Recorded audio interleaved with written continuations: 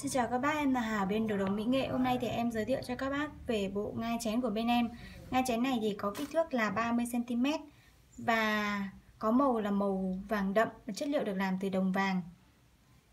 Uh, Ngai chén này thì uh, chúng ta thường dùng là để dâng lên gia tiên Thì uh, để thể hiện được cái lòng kính hiếu của con cháu cho gia tiên nhà mình.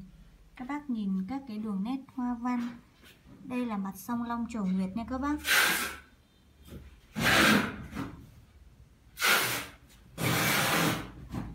Ở bên em thì có kích thước là 25cm và 30cm thì bác nào quan tâm mà cần uh, uh, mà muốn sở hữu một bộ ngai chén để dâng lên gia tiên nhà mình thì các bác có thể là để lại thông tin ở dưới hoặc gọi vào số hotline là 0963 378 563 thì em sẽ tư vấn cụ thể cho các bác.